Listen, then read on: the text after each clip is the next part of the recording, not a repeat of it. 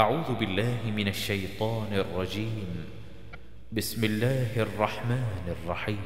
أخبرنا العباس بن عبد العظيم قال حدثنا عبد الله بن محمد بن أسماء قال حدثنا جويرية بن أسماء عن الوليد بن أبي هشام عن نافع أن عبد الله بن عمر قال قال رسول الله صلى الله عليه وسلم صلوا في بيوتكم ولا تتخذوها قبورا. أخبرنا أحمد بن سليمان قال حدثنا عفان بن مسلم قال حدثنا وهيب قال سمعت موسى بن عقبة قال سمعت أبا النضر يحدث عن بسر بن سعيد عن زيد بن ثابت أن النبي صلى الله عليه وسلم اتخذ حجرة في المسجد من حصير فصلى رسول الله صلى الله عليه وسلم فيها ليالي حتى اجتمع إليه الناس ثم فقدوا صوته ليلة فظنوا أنه نائم فجعل بعضهم يتنحنح ليخرج إليهم فقال ما زال بكم الذي رأيت من صنعكم حتى خشيت أن يكتب عليكم ولو كتب عليكم ما قمتم به فصلوا أيها الناس في بيوتكم فإن أفضل صلاة المرء في بيته إلا الصلاة المكتوبة. أخبرنا محمد بن بشار قال أنبأنا إبراهيم بن أبي الوزير قال حدثنا محمد بن موسى الفطري عن سعد بن إسحاق بن كعب بن عجرة عن أبيه عن جده قال صلى رسول الله صلى الله عليه وسلم صلاة المغرب في مسجد بني عبد الأشهل فلما صلى قام ناس يتنفلون فقال النبي صلى الله عليه وسلم عليكم بهذه الصلاة في البيوت. أخبرنا محمد بن بشار قال حدثنا يحيى بن سعيد عن سعيد عن قتادة عن زرارة عن سعد بن هشام أنه لقي ابن عباس فسأله عن الوتر فقال ألا أنبئك بأعلم أهل الأرض بوتر رسول الله صلى الله عليه وسلم قال نعم. قال عائشة ائتها فسلها ثم ارجع إلي فأخبرني بردها عليك فأتيت على حكيم بن أفلح فاستلحقته إليها فقال ما أنا بقاربها إني نهيتها أن تقول في هاتين الشيعتين شيئا فأبت فيها إلا مضيا فأقسمت عليه فجاء معي فدخل عليها فقالت لحكيم من هذا معك؟ قلت سعد بن هشام. قالت من هشام؟ قلت ابن عامر. فترحمت عليه وقالت نعم المرء كان عامرا. قال يا أم المؤمنين أنبئيني عن خلق رسول الله صلى الله عليه وسلم. قالت أليس تقرأ القرآن؟ قال قلت بلى. قالت فإن خلق نبي الله صلى الله عليه وسلم القرآن. فهممت أن أقوم فبدأ لي قيام رسول الله صلى الله عليه وسلم فقال يا أم المؤمنين أنبئيني عن قيام نبي الله صلى الله عليه وسلم. قالت أليس تقرأ هذه السورة؟ يا أيها المزمل. قلت بلى. قالت فإن الله عز وجل افترض قيام الليل في أول هذه السورة فقام نبي الله صلى الله عليه وسلم وأصحابه حولا حتى انتفخت أقدامهم وأمسك الله عز وجل خاتمتها اثني عشر شهرا. ثم أنزل الله عز وجل التخفيف في آخر هذه السورة فصار قيام الليل تطوعا بعد أن كان فريضة. فهممت أن أقوم فبدا لي وتر رسول الله صلى الله عليه وسلم. فقلت يا أم المؤمنين أنبئيني عن وتر رسول الله صلى الله عليه وسلم. قالت كنا نعد له سواكه وطهوره فيبعثه الله عز وجل لما شاء أن يبعثه من الليل فيتسوك ويتوضأ ويصلي ثماني ركعات لا يجلس فيهن إلا عند الثامنة يجلس فيذكر الله عز وجل ويدعو ثم يسلم تسليما يسمعنا ثم يصلي ركعتين وهو جالس بعدما يسلم ثم يصلي ركعة فتلك إحدى عشرة ركعة يا بني فلما أسن رسول الله صلى الله عليه وسلم وأخذ اللحم أوتر بسبع وصلى ركعتين وهو جالس بعدما سلم فتلك تسع ركعات يا بني. وكان رسول الله صلى الله عليه وسلم إذا صلى صلاة أحب أن يدوم عليها وكان إذا شغله عن قيام الليل نوم أو مرض أو وجع صلى من النهار اثنتي عشرة ركعة. ولا أعلم أن نبي الله صلى الله عليه وسلم قرأ القرآن كله في ليلة ولا قام ليلة كاملة حتى الصباح ولا صام شهرا كاملا غير رمضان. فأتيت ابن عباس فحدثته بحديثها فقال صدقت. أما إني لو كنت أدخل عليها لأتيتها حتى تشافهني مشافهة. قال أبو عبد الرحمن كذا وقع في كتابي ولا أدري ممن الخطأ في موضع وتره عليه السلام. أخبرنا قتيبة عن مالك عن ابن شهاب عن حميد بن عبد الرحمن عن أبي هريرة أن رسول الله صلى الله عليه وسلم قال من قام رمضان إيمانا واحتسابا غفر له ما تقدم من ذنبه. أخبرنا محمد بن إسماعيل أبو بكر قال حدثنا عبد الله بن محمد بن أسماء قال حدثنا جويرية عن مالك قال قال الزهري أخبرني أبو سلمة بن عبد الرحمن وحميد بن عبد الرحمن عن أبي هريرة أن رسول الله صلى الله عليه وسلم قال من قام رمضان إيمانا واحتسابا غفر له ما تقدم من ذنبه. أخبرنا قتيبة عن مالك عن ابن شهاب عن عروة عن عائشة أن رسول الله صلى الله عليه وسلم صلى في المسجد ذات ليلة وصلى بصلاته ناس ثم صلى من القابلة وكثر الناس ثم اجتمعوا من الليلة الثالثة أو الرابعة فلم يخرج إليهم رسول الله صلى الله عليه وسلم. فلما أصبح قال قد رأيت الذي صنعتم فلم يمنعني من الخروج إليكم إلا أني خشيت أن يفرض عليكم وذلك في رمضان.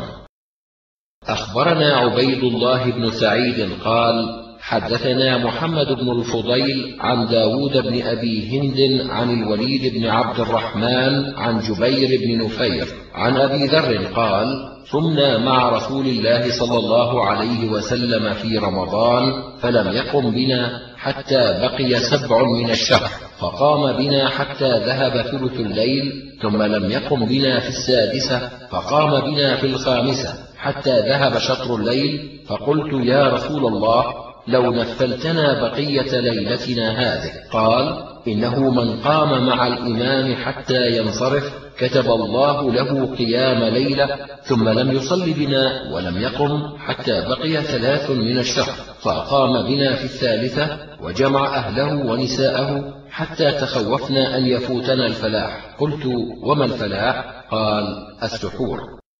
أخبرنا أحمد بن سليمان قال حدثنا زيد بن الحباب قال أخبرني معاوية بن صالح قال حدثني نعيم بن زياد أبو طلحة قال سمعت النعمان بن بشير على منبر حمص يقول قمنا مع رسول الله صلى الله عليه وسلم في شهر رمضان ليلة ثلاث وعشرين إلى ثلث الليل الأول ثم قمنا معه ليلة خمس وعشرين إلى نصف الليل ثم قمنا معه ليلة سبع وعشرين حتى ظننا أن لا ندرك الفلاح وكانوا يسمونه السحور أخبرنا محمد بن عبد الله بن يزيد قال حدثنا سفيان عن أبي الزناد عن الأعرج عن أبي هريرة قال قال رسول الله صلى الله عليه وسلم إذا نام أحدكم عقد الشيطان على رأسه ثلاث عقد يضرب على كل عقدة ليلا طويلا أي ارقد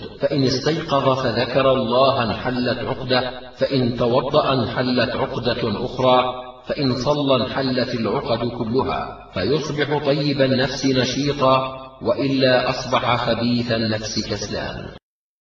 أخبرنا إسحاق بن إبراهيم قال أنبأنا جرير عن منصور عن أبي وائل عن عبد الله قال ذكر عند رسول الله صلى الله عليه وسلم رجل نام ليلة حتى أصبح. قال ذاك رجل بال الشيطان في أذنيه.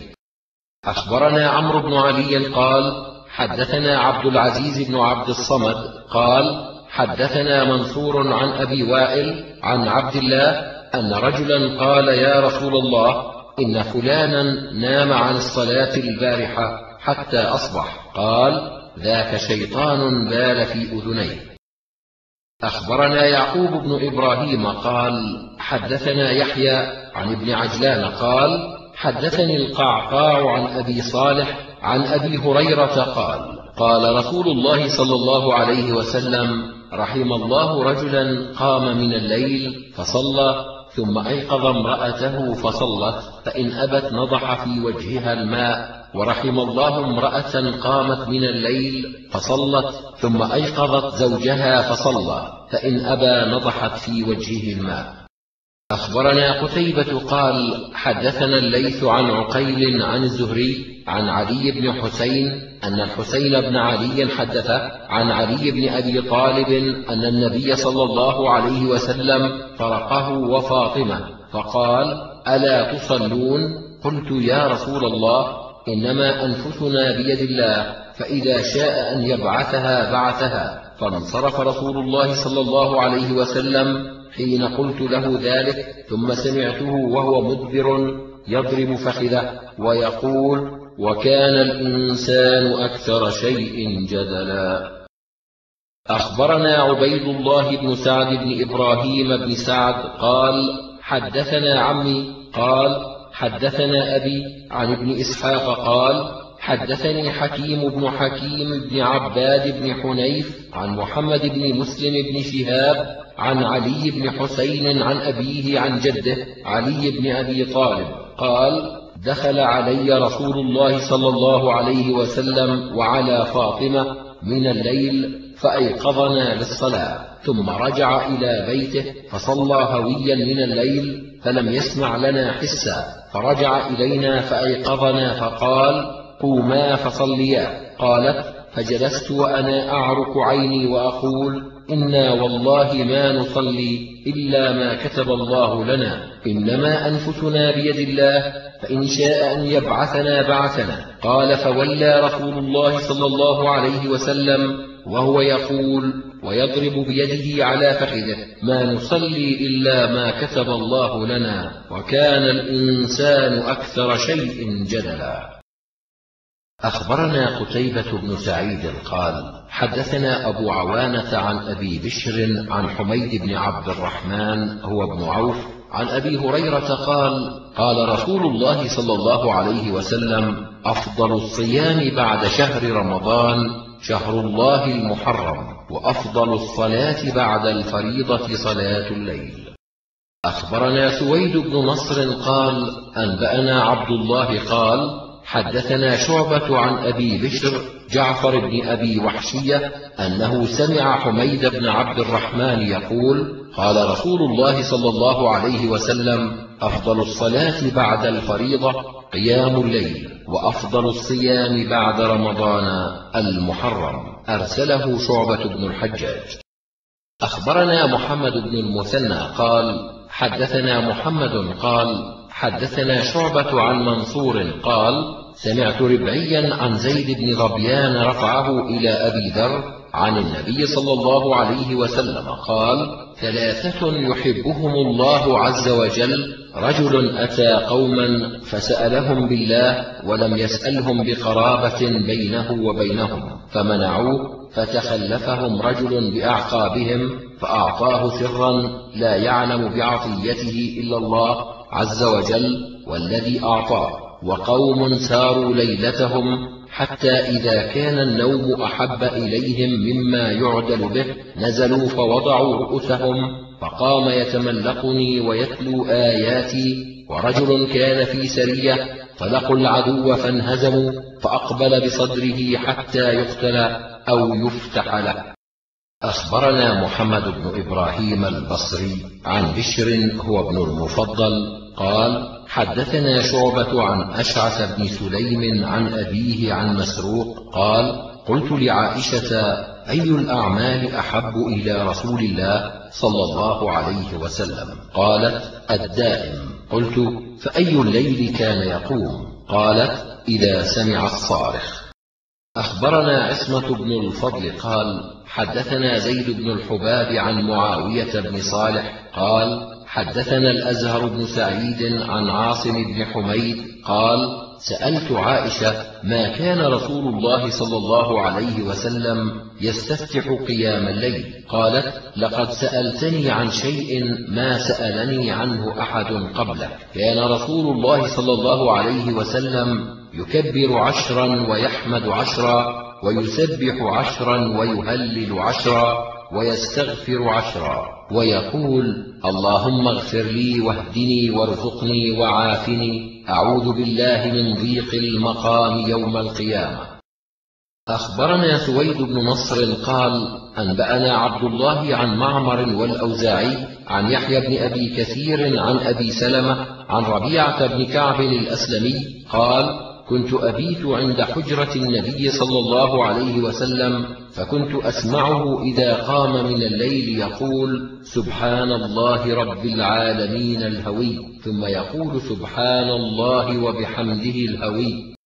أخبرنا قتيبة بن سعيد قال حدثنا سفيان عن الأحول يعني سليمان بن أبي مسلم عن طاووس عن ابن عباس قال كان النبي صلى الله عليه وسلم إذا قام من الليل يتهجد قال اللهم لك الحمد أنت نور السماوات والأرض ومن فيهن ولك الحمد أنت قيام السماوات والأرض ومن فيهن ولك الحمد أنت ملك السماوات والأرض ومن فيهن ولك الحمد أنت حق ووعدك حق والجنة حق والنار حق والساعة حق والنبيون حق ومحمد حق. لك أسلمت وعليك توكلت وبك آمنت. ثم ذكر قتيبة كلمة معناها وبك خاصمت وإليك حاكمت. اغفر لي ما قدمت وما أخرت وما أعلنت. أنت المقدم وأنت المؤخر لا إله إلا أنت ولا حول ولا قوة إلا بالله.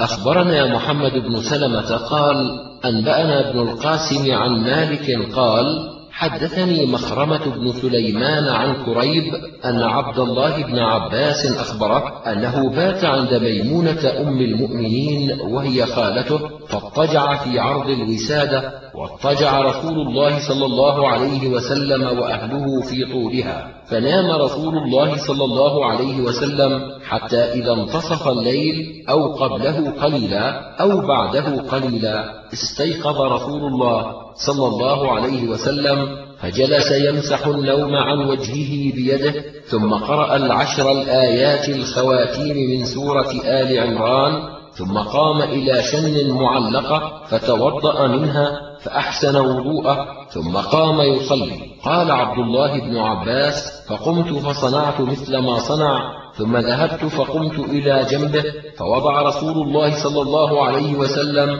يده اليمنى على رأسي وأخذ بأذن اليمنى يفتلها فصلى ركعتين ثم ركعتين ثم ركعتين ثم ركعتين ثم ركعتين ثم ركعتين ثم أوتر ثم اضطجع حتى جاءه المؤذن فصلى ركعتين خفيفتين. أخبرنا عمرو بن علي ومحمد بن المثنى عن عبد الرحمن عن سفيان عن منصور والأعمش وحسين عن أبي وائل عن حذيفة أن النبي صلى الله عليه وسلم كان إذا قام من الليل يشوط فاه بالسواك.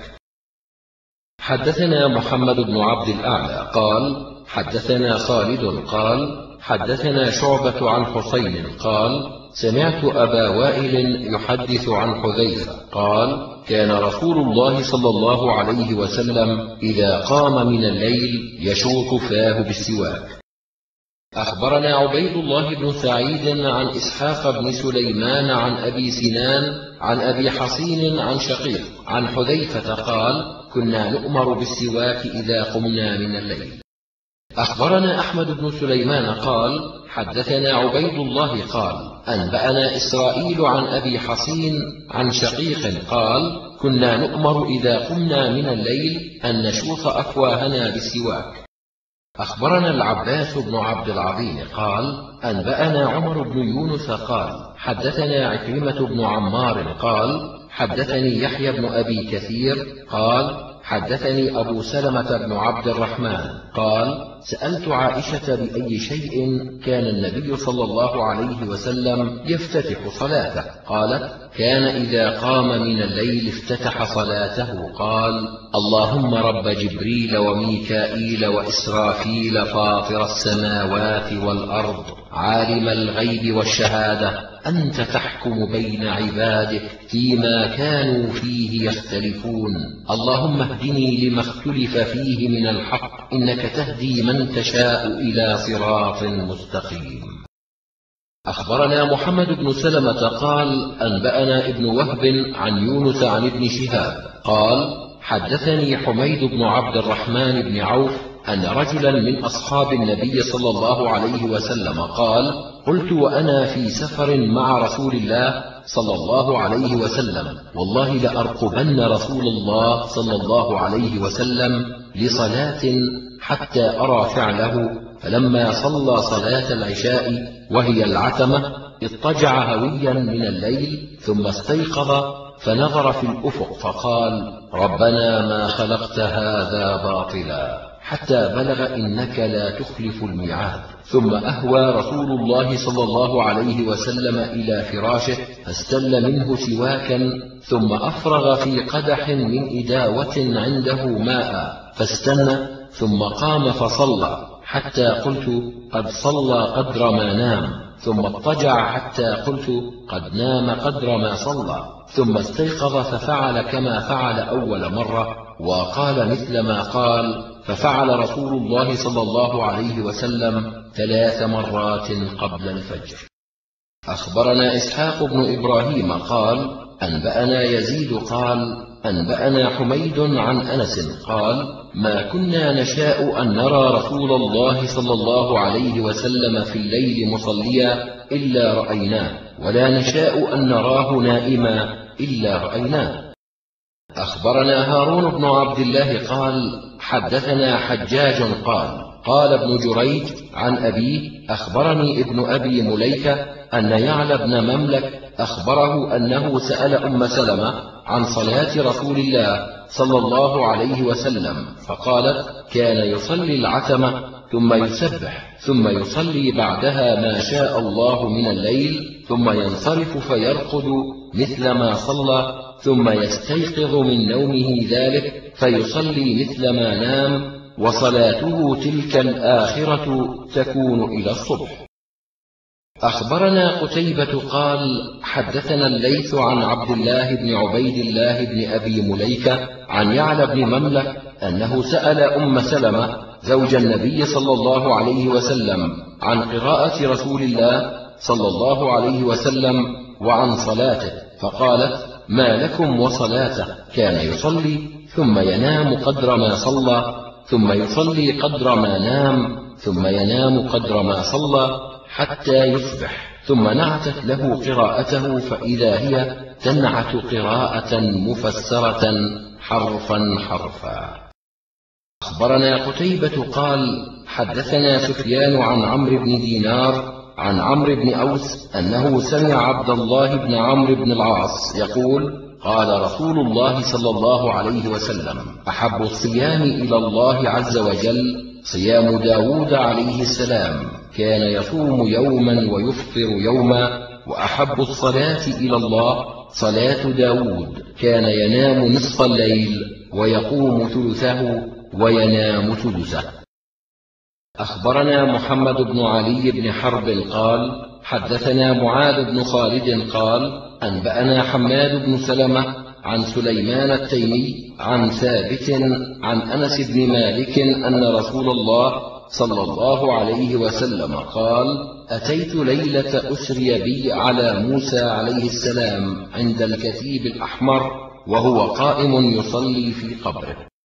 أخبرنا العباس بن محمد قال حدثنا يونس بن محمد قال حدثنا حماد بن سلمة عن سليمان التيمي وثابت عن أنس أن رسول الله صلى الله عليه وسلم قال أتيت على موسى عليه السلام عند الكثيب الأحمر وهو قائم يصلي. قال أبو عبد الرحمن هذا أولى بالصواب عندنا من حديث معاذ بن خالد والله تعالى أعلم.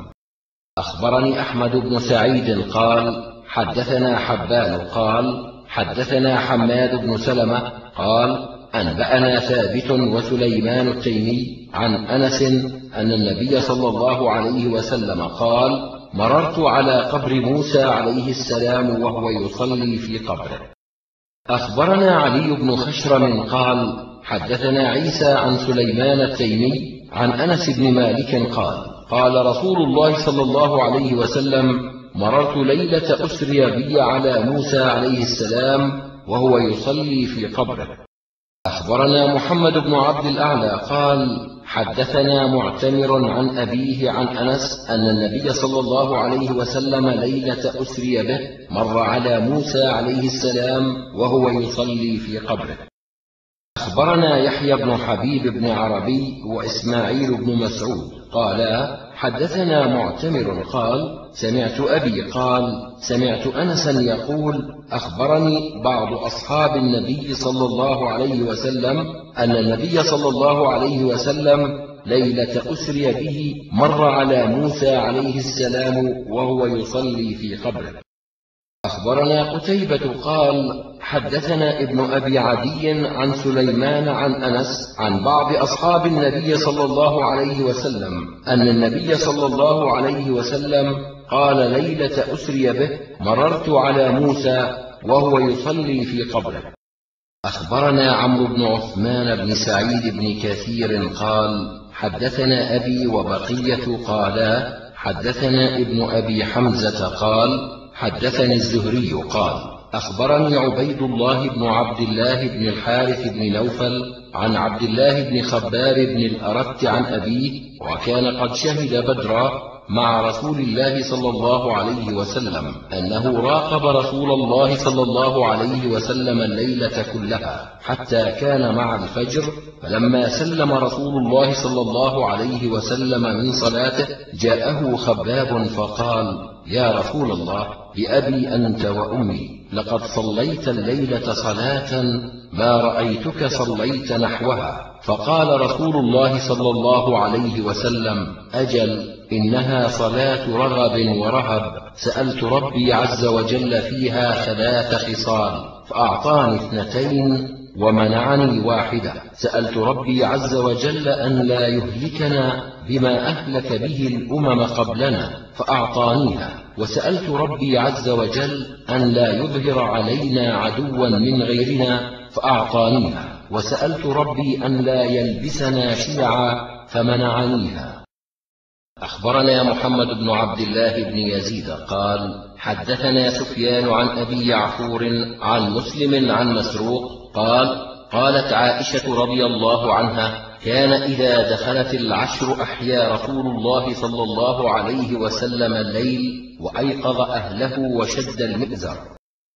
أخبرنا محمد بن عبد الله بن المبارك قال حدثنا يحيى قال حدثنا زهير عن أبي إسحاق قال أتيت الأسود بن يزيد وكان لي أخا صديقا فقلت يا أبا عمرو حدثني ما حدثتك به أم المؤمنين عن صلاة رسول الله صلى الله عليه وسلم. قال قالت كان ينام أول الليل ويحيي آخره.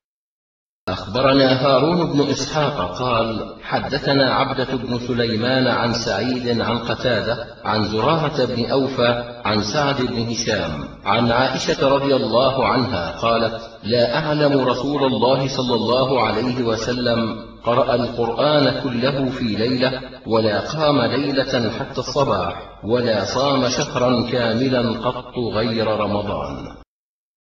أخبرنا شعيب بن يوسف عن يحيى عن هشام قال أخبرني أبي عن عائشة أن النبي صلى الله عليه وسلم دخل عليها وعندها امرأة فقال من هذه؟ قالت فلانة لا تنام فذكرت من صلاتها فقال مه عليكم بما تطيقون فوالله لا يمل الله عز وجل حتى تملوا ولكن أحب الدين إليه ما داوم عليه صاحبه.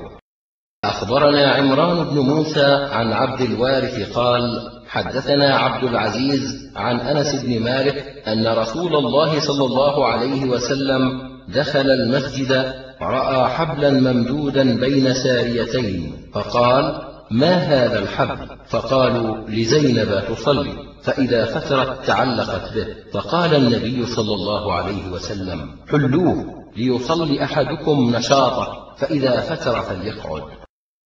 أخبرنا قتيبة بن سعيد ومحمد بن منصور واللفظ له عن سفيان عن زياد بن علاقة قال سمعت المغيرة بن شعبة يقول قام النبي صلى الله عليه وسلم حتى تورمت قدماه. فقيل له قد غفر الله لك ما تقدم من ذنبك وما تأخر. قال أفلا أكون عبدا شكورا؟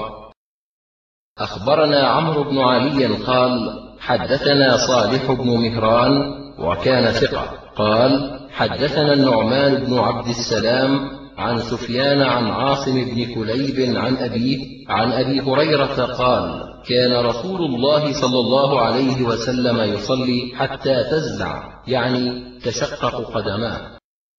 أخبرنا قتيبة قال حدثنا حماد عن بديل وأيوب عن عبد الله بن شقيق عن عائشة قالت كان رسول الله صلى الله عليه وسلم يصلي ليلا طويلا فإذا صلى قائما ركع قائما وإذا صلى قاعدا ركع قاعدا.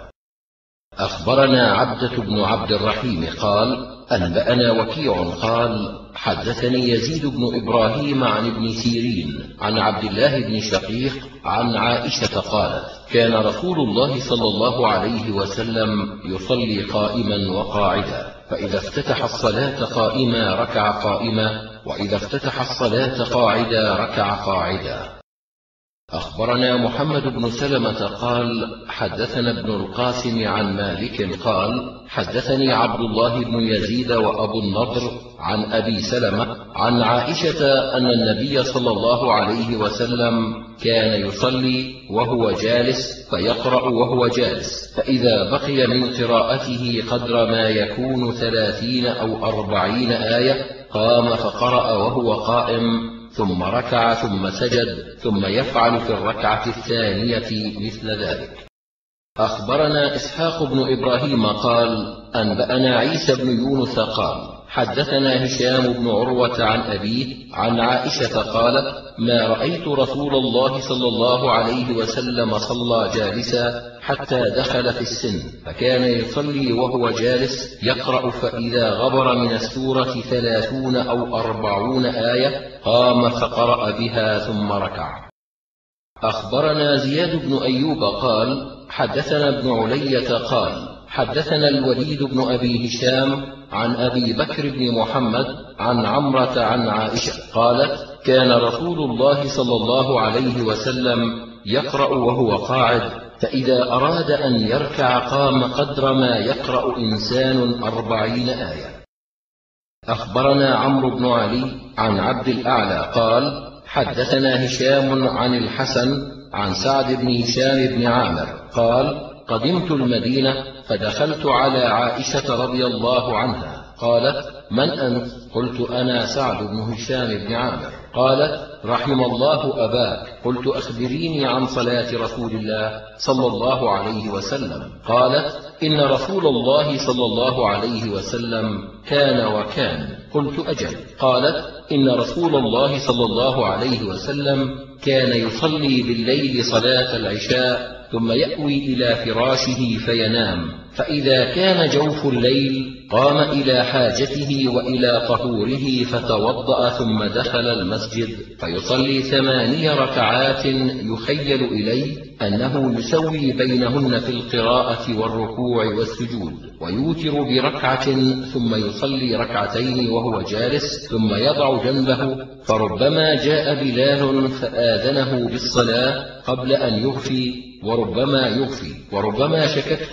أغفى أو لم يغفي حتى يؤذنه بالصلاة. فكانت تلك صلاة رسول الله صلى الله عليه وسلم حتى أسن ولحم فذكرت من لحمه ما شاء الله. قالت وكان النبي صلى الله عليه وسلم يصلي بالناس العشاء ثم يأوي إلى فراشه فإذا كان جوف الليل قام إلى طهوره وإلى حاجته فتوضأ ثم يدخل المسجد فيصلي ست ركعات يخيل إلي أنه يسوي بينهن في القراءة والركوع والسجود. ثم يوتر بركعة ثم يصلي ركعتين وهو جالس ثم يضع جنبه. وربما جاء بلال فآذنه بالصلاة قبل أن يغفي وربما أغفى. وربما شككت أغفى أم لا حتى يؤذنه بالصلاة. قالت فما زالت تلك صلاة رسول الله صلى الله عليه وسلم.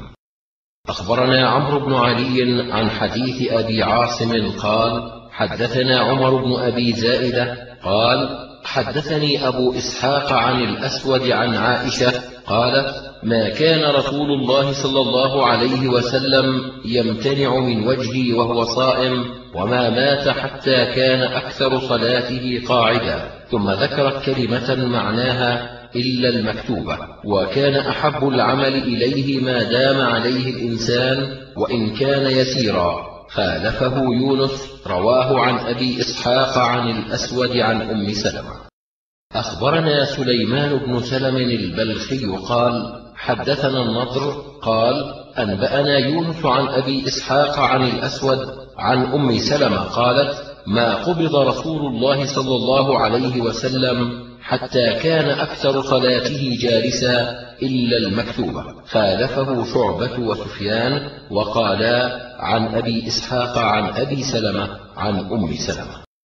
أخبرنا إسماعيل بن مسعود حدثنا خالد عن شعبة عن أبي إسحاق قال سمعت أبا سلمة عن أم سلمة قالت ما مات رسول الله صلى الله عليه وسلم حتى كان أكثر صلاته قاعدا إلا الفريضة وكان أحب العمل إليه أدومه وإن قل أخبرنا عبد الله بن عبد الصمد قال حدثنا يزيد قال حدثنا سفيان عن أبي إسحاق عن أبي سلمة عن أم سلمة قالت والذي نفسي بيده ما مات رسول الله صلى الله عليه وسلم حتى كان أكثر صلاته قاعدا إلا المكتوبة وكان أحب العمل إليه ما داوم عليه وإن قل.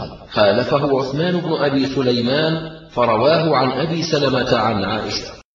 أخبرنا الحسن بن محمد عن حجاج عن ابن جريج قال أخبرني عثمان بن أبي سليمان أن أبا سلمة أخبره أن عائشة أخبرت أن النبي صلى الله عليه وسلم لم يمت حتى كان يصلي كثيرا من صلاته وهو جالس. أخبرنا أبو الأشعث عن يزيد بن زريع قال أنبأنا الجريري عن عبد الله بن شقيق قال قلت لعائشة هل كان رسول الله صلى الله عليه وسلم يصلي وهو قاعد؟ قالت نعم بعدما حطمه الناس.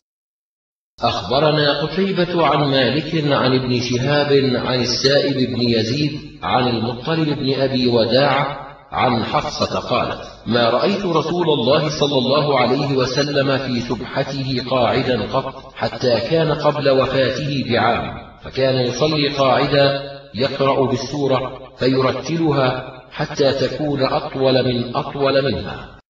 أخبرنا عبيد الله بن سعيد قال حدثنا يحيى عن سفيان قال حدثنا منصور عن هلال بن يساف عن أبي يحيى عن عبد الله بن عمرو قال رأيت النبي صلى الله عليه وسلم يصلي جالسا فقلت حدثت أنك قلت إن صلاة القاعد على النصف من صلاة القائم وأنت تصلي قاعدا. قال أجل ولكني لست كأحد منكم.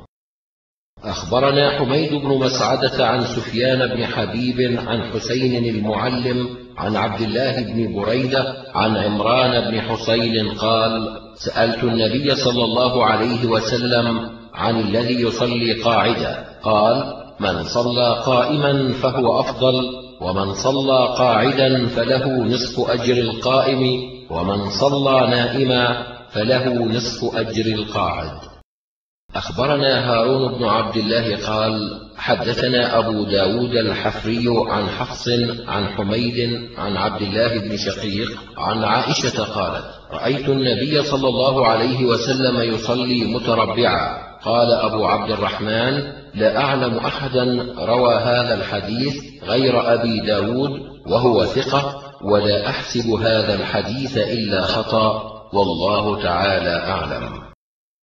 أخبرنا شعيب بن يوسف قال حدثنا عبد الرحمن عن معاوية بن صالح عن عبد الله بن أبي قيس قال سألت عائشة كيف كانت قراءة رسول الله صلى الله عليه وسلم بالليل يجهر أم يسر؟ قالت كل ذلك قد كان يفعل ربما جهر وربما أسر.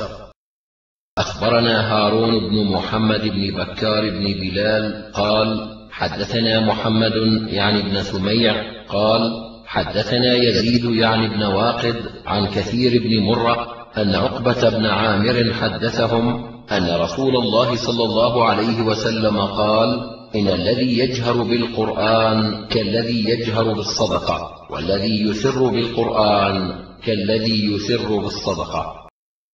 أخبرنا الحسين بن منصور قال حدثنا عبد الله بن نمير قال حدثنا الأعمش عن سعد بن عبيدة عن المستورد بن الأحنف عن صلة بن زفر عن حذيفة قال صليت مع النبي صلى الله عليه وسلم ليلة فافتتح البقرة فقلت يركع عند المئة فمضى فقلت يركع عند المئتين فمضى فقلت يصلي بها في ركعة فمضى فافتتح النساء فقرأها ثم افتتح آل عمران فقرأها. يقرأ مترسلا إذا مر بآية فيها تسبيح سبح وإذا مر بسؤال سأل وإذا مر بتعوذ تعوذ ثم ركع فقال سبحان ربي العظيم. فكان ركوعه نحوا من قيامه ثم رفع رأسه فقال سمع الله لمن حمده.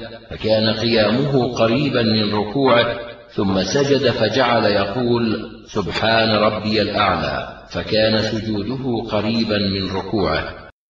أخبرنا إسحاق بن إبراهيم قال أنبأنا النضر بن محمد المروزي ثقة قال حدثنا العلاء بن المسيب عن عمرو بن مرة عن طلحة بن يزيد الأنصاري عن حذيفة أنه صلى مع رسول الله صلى الله عليه وسلم في رمضان فركع فقال في ركوعه سبحان ربي العظيم مثل ما كان قائما. ثم جلس يقول رب اغفر لي رب اغفر لي مثل ما كان قائما. ثم سجد فقال سبحان ربي الأعلى مثل ما كان قائما. فما صلى إلا أربع ركعات حتى جاء بلال إلى الغداء. قال أبو عبد الرحمن هذا الحديث عندي مرسل وطلحة بن يزيد لا أعلمه سمع من حذيفة شيئا وغير العلاء بن المسيب قال في هذا الحديث عن طلحة عن رجل عن حذيفة.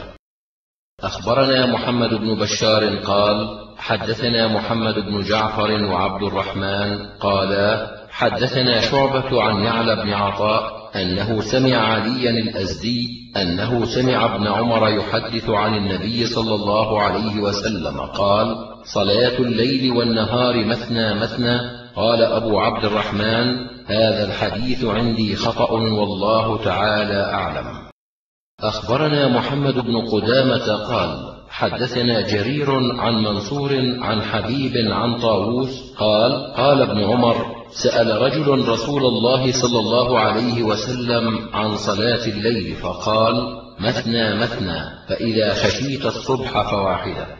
أخبرنا عمرو بن عثمان ومحمد بن صدقة قالا حدثنا محمد بن حرب عن الزبيدي عن الزهري عن سالم عن أبيه عن النبي صلى الله عليه وسلم قال صلاة الليل مثنى مثنى فإذا خفت الصبح فأوتر بواحدة. أخبرنا محمد بن منصور قال حدثنا سفيان عن ابن أبي لبيد عن أبي سلمة عن ابن عمر قال سمعت رسول الله صلى الله عليه وسلم على المنبر يسأل عن صلاة الليل فقال مثنى مثنى فإذا خفت الصبح فأوتر بركعة. أخبرنا موسى بن سعيد قال حدثنا أحمد بن عبد الله بن يونس قال حدثنا زهير قال حدثنا الحسن بن الحر قال حدثنا نافع أن ابن عمر أخبرهم أن رجلا سأل رسول الله صلى الله عليه وسلم عن صلاة الليل قال مثنى مثنى فإن خشي أحدكم الصبح فليوتر بواحدة. أخبرنا قتيبة قال حدثنا الليث عن نافع عن ابن عمر عن النبي صلى الله عليه وسلم قال صلاة الليل مثنى مثنى فإذا خفت الصبح فأوتر بواحدة. أخبرنا أحمد بن محمد بن المغيرة قال حدثنا عثمان عن شعيب عن الزهري عن سالم عن ابن عمر قال سأل رجل من المسلمين رسول الله صلى الله عليه وسلم كيف صلاة الليل فقال صلاة الليل مثنى مثنى فإذا خفت الصبح فأوتر بواحدة. أخبرنا محمد بن يحيى قال حدثنا يعقوب بن إبراهيم قال حدثنا ابن أخي بن شهاب عن عمه قال أخبرني حميد بن عبد الرحمن أن عبد الله بن عمر أخبره أن رجلا سأل رسول الله صلى الله عليه وسلم عن صلاة الليل فقال رسول الله صلى الله عليه وسلم صلاة الليل مثنى مثنى فإذا خشيت الصبح فأوتر بواحدة. أخبرنا أحمد بن الهيثم قال حدثنا حرملة قال حدثنا ابن وهب قال أخبرني عمرو بن الحارث أن ابن شهاب حدث أن سالم بن عبد الله وحميد بن عبد الرحمن حدثاه عن عبد الله بن عمر قال قام رجل فقال يا رسول الله كيف صلاة الليل؟ فقال رسول الله صلى الله عليه وسلم صلاة الليل مثنى مثنى فإذا خفت الصبح فأوتر بواحدة. أخبرنا هناد بن السري عن أبي بكر بن عياش عن أبي إسحاق عن عاصم وهو ابن ضمرة عن علي رضي الله عنه قال أوتر رسول الله صلى الله عليه وسلم ثم قال يا أهل القرآن أوتروا فإن الله عز وجل وتر يحب الوتر. أخبرني محمد بن إسماعيل بن إبراهيم عن أبي نعيم عن سفيان عن أبي إسحاق عن عاصم بن ضمرة عن علي رضي الله عنه قال الوتر ليس بحتم كهيئة المكتوبة ولكنه سنة سنها رسول الله صلى الله عليه وسلم. أخبرنا سليمان بن سلم ومحمد بن علي بن الحسن بن شقيق عن النضر بن شميل قال أنبأنا شعبة عن أبي شمر عن أبي عثمان. عن أبي هريرة قال أوصاني خليلي صلى الله عليه وسلم بثلاث النوم على وتر وصيام ثلاثة أيام من كل شهر وركعتي الضحى. أخبرنا محمد بن بشار قال حدثنا محمد قال حدثنا شعبة ثم ذكر كلمة معناها عن عباس الجريري قال سمعت أبا عثمان عن أبي هريرة قال أوصاني خليلي صلى الله عليه وسلم بثلاث الوتر أول الليل وركعتي الفجر وصوم ثلاثة أيام من كل شهر. أخبرنا هناد بن السري عن ملازم بن عمرو قال حدثني عبد الله بن بدر عن قيس بن طلق قال زارني أبي طلق بن علي في يوم من رمضان فأمسى بنا وقام بنا تلك الليلة وأوتر بنا ثم انحدر إلى مسجد فصلى بأصحابه حتى بقي الوتر ثم قدم رجلا فقال له أوتر بهم فإني سمعت رسول الله صلى الله عليه وسلم يقول لا وتران في ليلة. أخبرنا محمد بن المثنى قال حدثنا محمد قال حدثنا شعبة عن أبي إسحاق عن الأسود بن يزيد قال سألت عائشة عن صلاة رسول الله صلى الله عليه وسلم فقالت كان ينام أول الليل ثم يقوم فإذا كان من السحر أوتر ثم أتى فراشه فإذا كان له حاجة ألم بأهله فإذا سمع الأذان وثب فإن كان جنبا أفاض عليه من الماء وإلا توضأ ثم خرج إلى الصلاة. أخبرنا إسحاق بن منصور قال حدثنا عبد الرحمن عن سفيان عن أبي حصين عن يحيى بن وثاب عن مسروق عن عائشة قالت أوتر رسول الله صلى الله عليه وسلم من أوله وآخره وأوسطه وانتهى وتره إلى السحر. أخبرنا قتيبة قال حدثنا الليث عن نافع أن ابن عمر قال من صلى من الليل فليجعل آخر صلاته وترا فإن رسول الله صلى الله عليه وسلم كان يأمر بذلك. أخبرنا عبيد الله بن فضالة بن إبراهيم قال أنبأنا محمد وهو ابن المبارك قال حدثنا معاوية وهو ابن سلام بن أبي سلام عن يحيى بن أبي كثير قال أخبرني أبو نضرة العوقي أنه سمع أبا سعيد الخدري يقول سئل رسول الله صلى الله عليه وسلم عن الوتر فقال أوتروا قبل الصبح. أخبرنا يحيى بن درست قال حدثنا أبو إسماعيل القناد قال حدثنا يحيى وهو ابن أبي كثير عن أبي نضرة عن أبي سعيد عن النبي صلى الله عليه وسلم قال أوتروا قبل الفجر. أخبرنا يحيى بن حكيم قال حدثنا ابن أبي عدي عن شعبة عن إبراهيم بن محمد بن المنتشر عن أبيه أنه كان في مسجد عمرو بن شرحبيل فأقيمت الصلاة فجعلوا ينتظرونه فجاء فقال إني كنت أوتر. قال وسئل عبد الله هل بعد الأذان وتر؟ قال نعم وبعد الإقامة. وحدث عن النبي صلى الله عليه وسلم أنه نام عن الصلاة حتى طلعت الشمس ثم صلى. أخبرنا عبيد الله بن سعيد قال حدثنا يحيى بن سعيد عن عبيد الله بن الأخنس عن نافع عن ابن عمر أن رسول الله صلى الله عليه وسلم كان يوتر على الراحلة. أخبرنا إبراهيم بن يعقوب قال أخبرني عبد الله بن محمد بن علي قال حدثنا زهير عن الحسن بن الحر عن نافع أن ابن عمر كان يوتر على بعيره ويذكر أن النبي صلى الله عليه وسلم كان يفعل ذلك. أخبرنا قتيبة قال حدثنا مالك عن أبي بكر بن عمر بن عبد الرحمن بن عبد الله بن عمر بن الخطاب عن سعيد بن يسار قال قال لي ابن عمر أن رسول الله صلى الله عليه وسلم كان يوتر على البعير.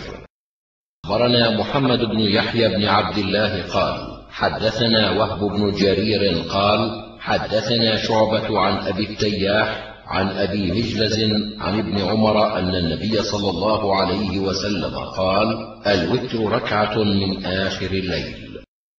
أخبرنا محمد بن بشار قال حدثنا يحيى ومحمد قالا حدثنا ثم ذكر كلمة معناها. شعبة عن قتادة عن أبي مجلز عن ابن عمر عن النبي صلى الله عليه وسلم قال الوتر ركعة من آخر الليل.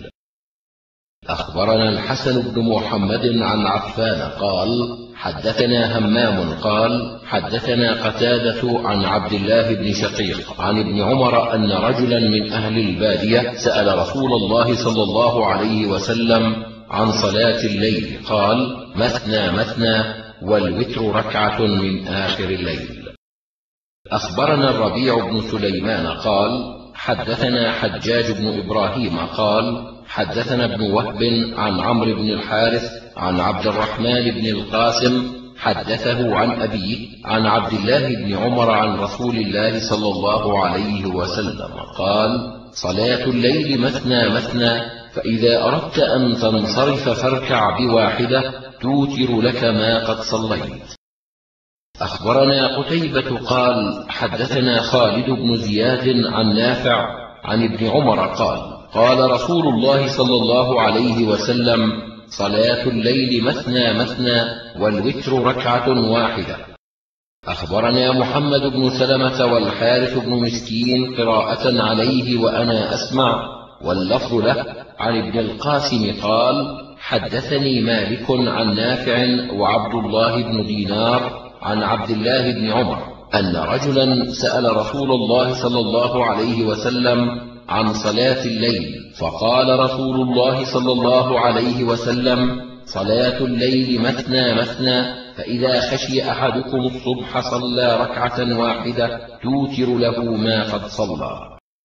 أخبرنا عبيد الله بن فضالة بن إبراهيم قال حدثنا محمد يعني ابن المبارك قال حدثنا معاوية وهو ابن سلام عن يحيى بن أبي كثير قال حدثني أبو سلمة بن عبد الرحمن ونافع عن ابن عمر عن رسول الله صلى الله عليه وسلم أنه سمعه يقول صلاة الليل ركعتين ركعتين فإذا خفتم الصبح فأوتروا بواحدة. أخبرنا إسحاق بن منصور قال أنبأنا عبد الرحمن قال حدثنا مالك عن الزهري عن عروة عن عائشة أن النبي صلى الله عليه وسلم كان يصلي من الليل إحدى عشرة ركعة يوتر منها بواحدة ثم يضطجع على شقه الأيمن.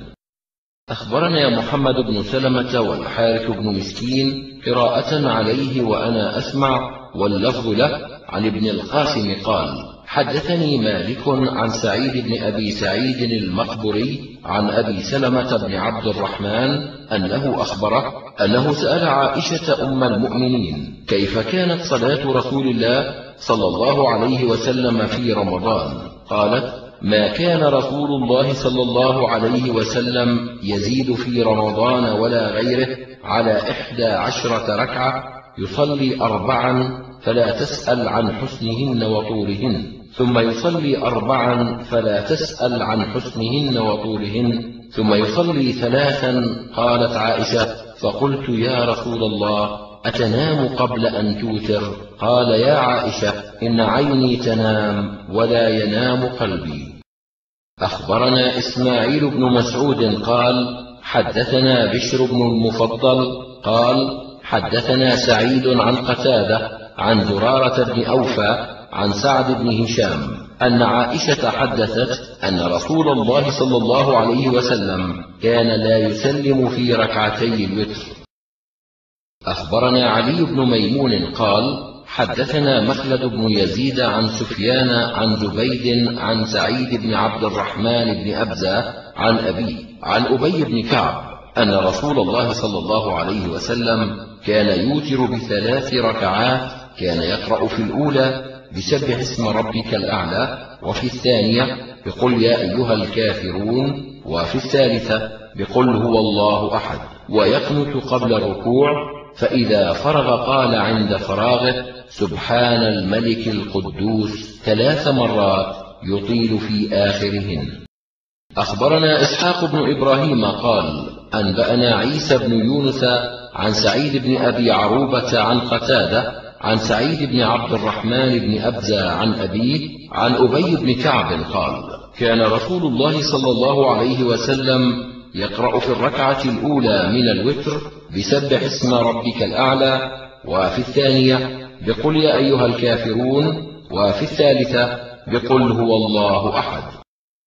أخبرنا يحيى بن موسى قال أنبأنا عبد العزيز بن خالد قال حدثنا سعيد بن أبي عروبة عن قتادة عن عزرة عن سعيد بن عبد الرحمن بن أبزة عن أبيه عن أبي بن كعب قال كان رسول الله صلى الله عليه وسلم يقرأ في الوتر بسبح اسم ربك الأعلى. وفي الركعة الثانية بقل يا أيها الكافرون وفي الثالثة بقل هو الله أحد ولا يسلم إلا في آخرهن ويقول يعني بعد التسليم سبحان الملك القدوس ثلاثا أخبرنا الحسين بن عيسى قال حدثنا أبو أسامة قال حدثنا زكريا بن أبي زائدة عن أبي إسحاق عن سعيد بن جبير عن ابن عباس قال كان رسول الله صلى الله عليه وسلم يوتر بثلاث يقرأ في الأولى بسبح اسم ربك الأعلى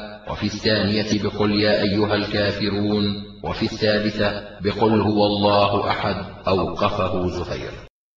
أخبرنا أحمد بن سليمان قال حدثنا أبو نعيم قال حدثنا زهير عن أبي إسحاق عن سعيد بن جبير عن ابن عباس أنه كان يوتر بثلاث بسبح اسم ربك الأعلى وقل يا أيها الكافرون وقل هو الله أحد.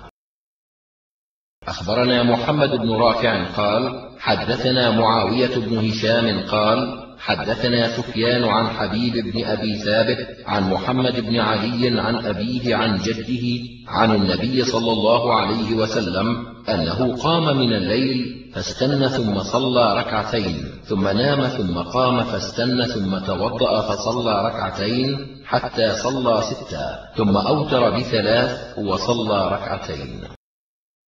أخبرنا أحمد بن سليمان قال حدثنا حسين عن زائدة عن حسين عن حبيب بن أبي ثابت عن محمد بن علي بن عبد الله بن عباس عن أبيه عن جده قال كنت عند النبي صلى الله عليه وسلم فقام فتوضأ واستاك وهو يقرأ هذه الآية حتى فرغ منها إن في خلق السماوات والأرض واختلاف الليل والنهار. لآيات لأولي الألباب. ثم صلى ركعتين ثم عاد فنام. حتى سمعت نفسه ثم قام فتوضأ واستاك ثم صلى ركعتين ثم نام ثم قام فتوضأ واستاك وصلى ركعتين وأوتر بثلاث. أخبرنا محمد بن جبلة قال حدثنا معمر بن مخلد ثقة قال حدثنا عبيد الله بن عمرو عن زيد عن حبيب بن أبي ثابت عن محمد بن علي عن ابن عباس قال استيقظ رسول الله صلى الله عليه وسلم فاستنى وساق الحديث. أخبرنا هارون بن عبد الله قال حدثنا يحيى بن آدم قال حدثنا أبو بكر النهشلي عن حبيب بن أبي ثابت عن يحيى بن الجزار عن ابن عباس قال كان رسول الله صلى الله عليه وسلم يصلي من الليل ثمان ركعات ويوتر بثلاث ويصلي ركعتين قبل صلاة الفجر خالفه عمرو بن مرة فرواه عن يحيى بن الجزار عن أم سلمة عن رسول الله صلى الله عليه وسلم. أخبرنا أحمد بن حرب قال حدثنا أبو معاوية عن الأعمش عن عمرو بن مرة عن يحيى بن الجزار عن أم سلمة قالت كان رسول الله صلى الله عليه وسلم يوتر بثلاث عشرة ركعة فلما كبر وضعف أوتر بتسع خالفه عمارة بن عمير فرواه عن يحيى بن الجزار عن عائشة. أخبرنا أحمد بن سليمان قال حدثنا حسين عن زائدة عن سليمان عن عمارة بن عمير عن يحيى بن الجزار عن عائشة قالت كان رسول الله صلى الله عليه وسلم يصلي من الليل تسعة فلما أسن وثقل صلى سبعة. أخبرنا عمرو بن عثمان قال حدثنا بقية قال حدثني ضبارة بن أبي السليل قال حدثني دويد بن نافع قال أخبرني ابن شهاب قال حدثني عطاء بن يزيد عن أبي أيوب أن النبي صلى الله عليه وسلم قال الوتر حق فمن شاء أوتر بسبع ومن شاء أوتر بخمس ومن شاء أوتر بثلاث ومن شاء أوتر بواحدة. أخبرنا العباس بن الوليد بن مزيد قال أخبرني أبي قال حدثني الأوزاعي قال حدثني الزهري قال حدثنا عطاء بن يزيد عن أبي أيوب أن رسول الله صلى الله عليه وسلم قال الوتر حق فمن شاء أوتر بخمس ومن شاء أوتر بثلاث ومن شاء أوتر بواحدة. أخبرنا الربيع بن سليمان بن داود قال حدثنا عبد الله بن يوسف قال حدثنا الهيثم بن حميد قال حدثني أبو معيد عن الزهري قال حدثني عطاء بن يزيد أنه سمع أبا أيوب الأنصاري يقول الوتر حق فمن أحب أن يوتر بخمس ركعات فليفعل ومن أحب أن يوتر بثلاث فليفعل ومن أحب أن يوتر بواحدة فليفعل. قال الحارث بن مسكين قراءة عليه وأنا أسمع عن سفيان عن الزهري عن عطاء بن يزيد عن أبي أيوب قال من شاء أوتر بسبع ومن شاء أوتر بخمس ومن شاء أوتر بثلاث ومن شاء أوتر بواحدة ومن شاء أومأ إيماء. أخبرنا قتيبة قال حدثنا جرير عن منصور عن الحكم عن مقسم عن أم سلمة قالت كان رسول الله صلى الله عليه وسلم يوتر بخمس وبسبع لا يفصل بينهما بسلام ولا بكلام. أخبرنا القاسم بن زكريا بن دينار قال حدثنا عبيد الله عن إسرائيل عن منصور عن الحكم عن مقسم عن ابن عباس عن أم سلمة قالت كان رسول الله صلى الله عليه وسلم يوتر بسبع أو بخمس لا يفصل بينهن بتسليم. أخبرنا محمد بن إسماعيل بن إبراهيم عن يزيد قال حدثنا سفيان بن الحسين عن الحكم عن مقسم قال الوتر سبع فلا أقل من خمس. فذكرت ذلك لإبراهيم فقال عمن ذكره؟ قلت لا أدري. قال الحكم فحججت فلقيت مقسما فقلت له عمن قال عن الثقة عن عائشة وعن ميمونة. أخبرنا إسحاق بن منصور قال أنبأنا عبد الرحمن عن سفيان عن هشام بن عروة عن أبيه عن عائشة أن النبي صلى الله عليه وسلم كان يوتر بخمس ولا يجلس إلا في آخرهن. أخبرنا إسماعيل بن مسعود قال حدثنا خالد قال حدثنا شعبة عن قتادة عن زرارة بن أوفى عن سعد بن هشام عن عائشة قالت لما أسن رسول الله صلى الله عليه وسلم وأخذ اللحم صلى سبع ركعات لا يقعد إلا في آخرهن وصلى ركعتين وهو قاعد بعدما يسلم فتلك تسع يا بني. وكان رسول الله صلى الله عليه وسلم إذا صلى صلاة أحب أن يداوم عليها. مختصر خالفه هشام الدستوائي. أخبرنا زكريا بن يحيى قال حدثنا إسحاق بن إبراهيم قال حدثنا معاذ بن هشام قال حدثني أبي عن قتادة عن زرارة بن أوفى عن سعد بن هشام عن عائشة قالت كان رسول الله صلى الله عليه وسلم إذا أوتر بتسع ركعات لم يقعد إلا في الثامنة. فيحمد الله ويذكره ويدعو ثم ينهض ولا يسلم ثم يصلي التاسعة فيجلس فيذكر الله عز وجل ويدعو ثم يسلم تسليمة يسمعنا ثم يصلي ركعتين وهو جالس. فلما كبر وضعف أوتر بسبع ركعات لا يقعد إلا في السادسة ثم ينهض ولا يسلم فيصلي السابعة ثم يسلم تسليمة ثم يصلي ركعتين وهو جالس. أخبرنا هارون بن إسحاق عن عبدة عن سعيد عن قتادة عن زرارة بن أوفى عن سعد بن هشام أن عائشة قالت كنا نعد لرسول الله صلى الله عليه وسلم سواكه وطهوره فيبعثه الله عز وجل لما شاء أن يبعثه من الليل فيستاك ويتوضأ ويصلي تسع ركعات لا يجلس فيهن إلا عند الثامنة ويحمد الله ويصلي على نبيه صلى الله عليه وسلم ويدعو بينهن ولا يسلم تسليما ثم يصلي التاسعة ويقعد وذكر كلمة نحوها ويحمد الله ويصلي على نبيه صلى الله عليه وسلم ويدعو ثم يسلم تسليما يسمعنا ثم يصلي ركعتين وهو قاعد. أخبرنا زكريا بن يحيى قال حدثنا إسحاق قال أنبأنا عبد الرزاق قال حدثنا معمر عن قتادة عن زرارة بن أوفى أن سعد بن هشام بن عامر لما أن قدم علينا أخبرنا أنه أتى ابن عباس فسأله عن وتر رسول الله صلى الله عليه وسلم قال ألا أدلك أو ألا أنبئك بأعلم أهل الأرض بوتر رسول الله صلى الله عليه وسلم؟ قلت من؟ قال عائشة. فأتيناها فسلمنا عليها ودخلنا فسألناها فقلت أنبئيني عن وتر رسول الله صلى الله عليه وسلم. قالت كنا نعد له سواكه وطهوره فيبعثه الله عز وجل ما شاء أن يبعثه من الليل فيتسوك ويتوضأ ثم يصلي تسع ركعات لا يقعد فيهن إلا في الثامنة فيحمد الله ويذكره ويدعو ثم ينهض ولا يسلم. ثم يصلي التاسعة فيجلس فيحمد الله ويذكره ويدعو ثم يسلم تسليما يسمعنا ثم يصلي ركعتين وهو جالس فتلك إحدى عشرة ركعة. يا بني فلما أسن رسول الله صلى الله عليه وسلم وأخذ اللحم أوتر بسبع ثم يصلي ركعتين وهو جالس بعدما يسلم فتلك تسعة. أي بني وكان رسول الله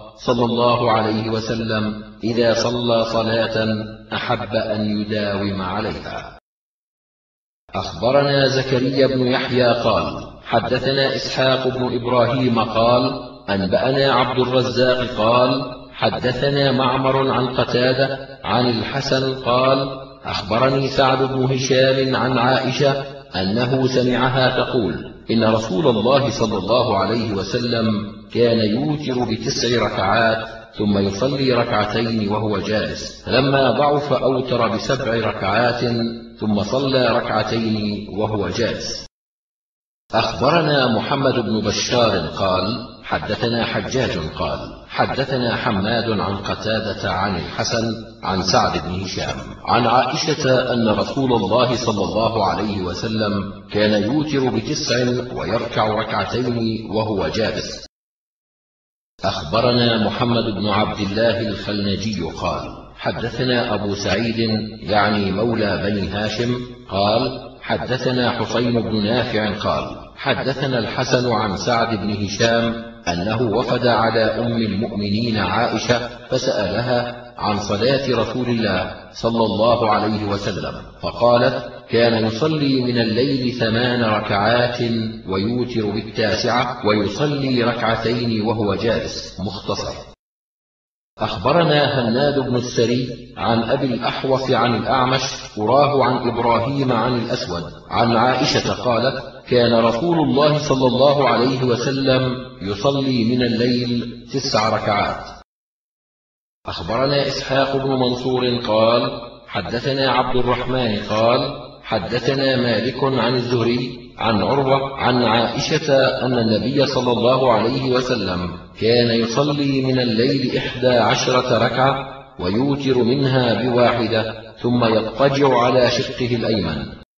أخبرنا أحمد بن حرب قال حدثنا أبو معاوية عن الأعمش عن عمرو بن مرة عن يحيى بن الجزار عن أم سلمة قالت كان رسول الله صلى الله عليه وسلم يوتر بثلاث عشرة ركعة فلما كبر وضعف أوتر بتسع.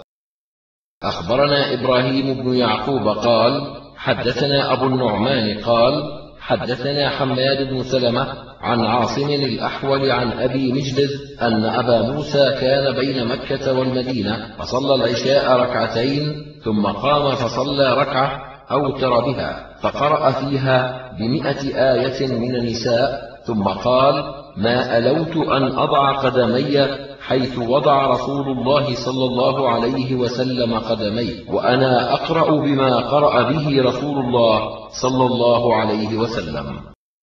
أخبرنا محمد بن الحسين بن إبراهيم بن إشكاب النسائي قال أنبأنا محمد بن أبي عبيدة قال حدثنا أبي عن الأعمش عن طلحة عن ذر عن سعيد بن عبد الرحمن بن أبزة عن أبي عن أبي بن كعب قال كان رسول الله صلى الله عليه وسلم يقرأ في الوتر بسبح اسم ربك الأعلى وقل يا أيها الكافرون وقل هو الله أحد. فإذا سلم قال سبحان الملك القدوس ثلاث مرات.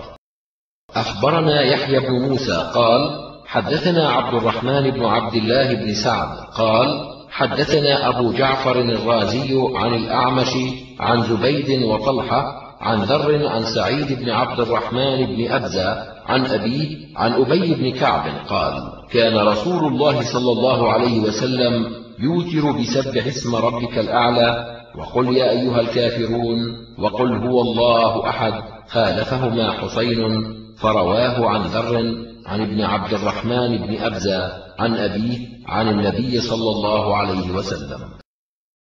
أخبرنا الحسن بن قزعة عن حسين بن نمير عن حسين بن عبد الرحمن عن ذر عن أبي عبد الرحمن بن أبزة عن أبيه أن رسول الله صلى الله عليه وسلم كان يقرأ في الوتر بسبح اسم ربك الأعلى وقل يا أيها الكافرون وقل هو الله أحد.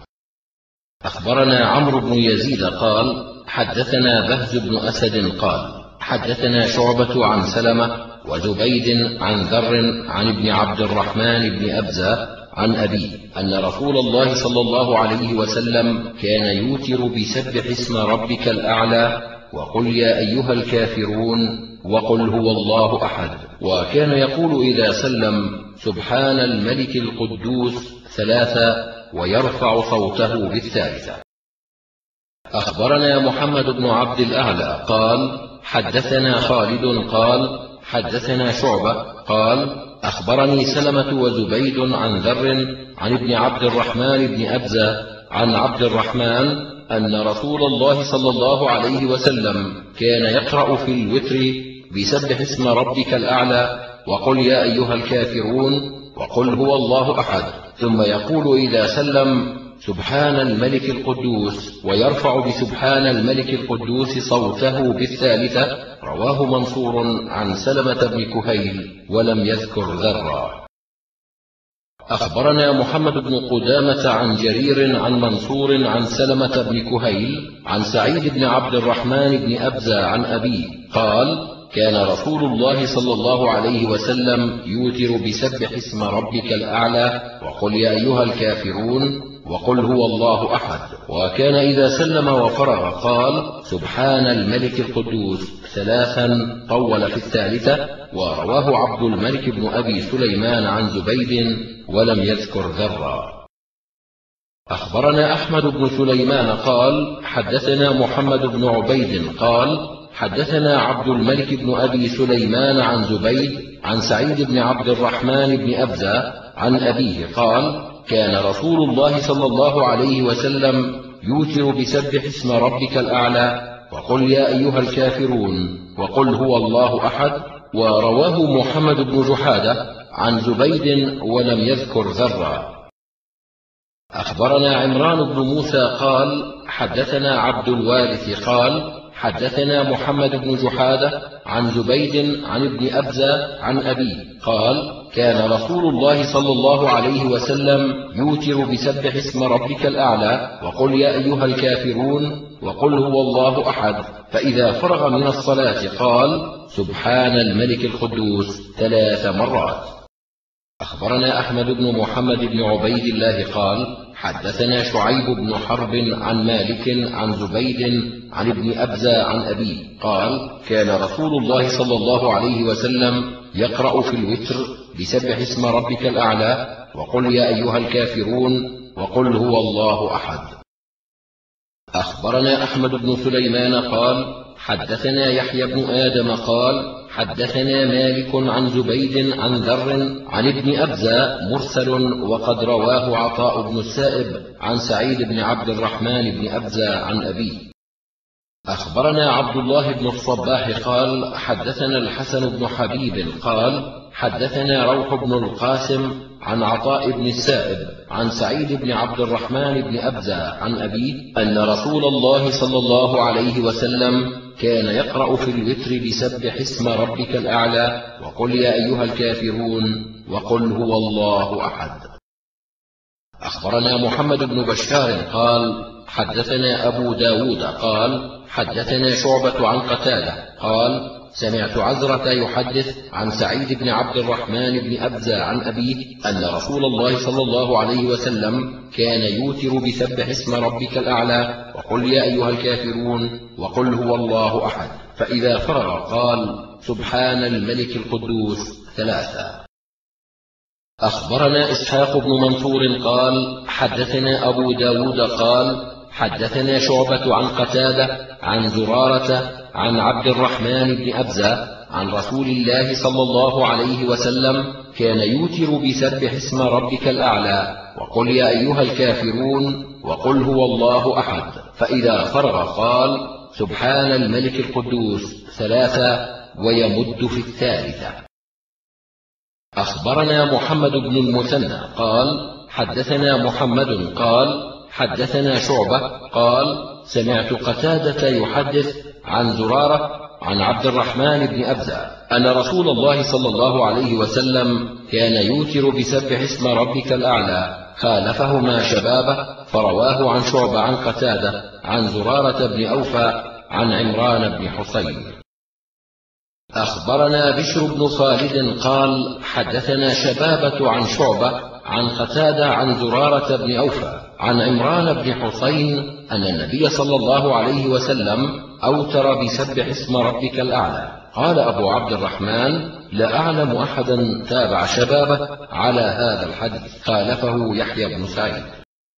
أخبرنا محمد بن المثنى قال حدثنا يحيى بن سعيد عن شعبة عن قتادة عن زرارة عن عمران بن حسين قال صلى رسول الله صلى الله عليه وسلم الظهر فقرأ رجل بسبح اسم ربك الأعلى فلما صلى قال من قرأ بسبح اسم ربك الأعلى؟ قال رجل أنا. قال قد علمت أن بعضهم خالجنيها أخبرنا قتيبة قال حدثنا أبو الأحوص عن أبي إسحاق عن بريد عن أبي الجوزاء قال قال الحسن علمني رسول الله صلى الله عليه وسلم كلمات أقولهن في الوتر في القنوت. اللهم اهدني فيمن هديت وعافني فيمن عافيت وتولني فيمن توليت وبارك لي فيما أعطيت وقني شر ما قضيت. إنك تقضي ولا يقضى عليك وإنه لا يذل من واليت. تباركت ربنا وتعاليت. أخبرنا محمد بن سلمة قال حدثنا ابن وهب عن يحيى بن عبد الله بن سالم عن موسى بن عقبة عن عبد الله بن علي عن الحسن بن علي قال علمني رسول الله صلى الله عليه وسلم هؤلاء الكلمات في الوتر. قال قل اللهم اهدني فيمن هديت وبارك لي فيما أعطيت وتولني فيمن توليت وقني شر ما قضيت فإنك تقضي ولا يقضى عليك وإنه لا يذل من واليت. تباركت ربنا وتعاليت وصلى الله على النبي محمد. أخبرنا محمد بن عبد الله بن المبارك قال حدثنا سليمان بن حرب وهشام بن عبد الملك قالا حدثنا حماد بن سلمة عن هشام بن عمرو الفزاري عن عبد الرحمن بن الحارث بن هشام عن علي بن أبي طالب أن النبي صلى الله عليه وسلم كان يقول في آخر وتره اللهم إني أعوذ برضاك من سخطك وبمعافاتك من عقوبتك وأعوذ بك منك لا أحصي ثناء عليك أنت كما أثنيت على نفسك وأعوذ بك منك لا أحصي ثناء عليك أنت كما أثنيت على نفسك. أخبرنا محمد بن بشار قال حدثنا عبد الرحمن عن شعبة عن ثابت البناني عن أنس قال كان النبي صلى الله عليه وسلم لا يرفع يديه في شيء من دعائه إلا في الاستسقاء. قال شعبة فقلت لثابت أنت سمعته من أنس؟ قال سبحان الله. قلت سمعته. قال سبحان الله.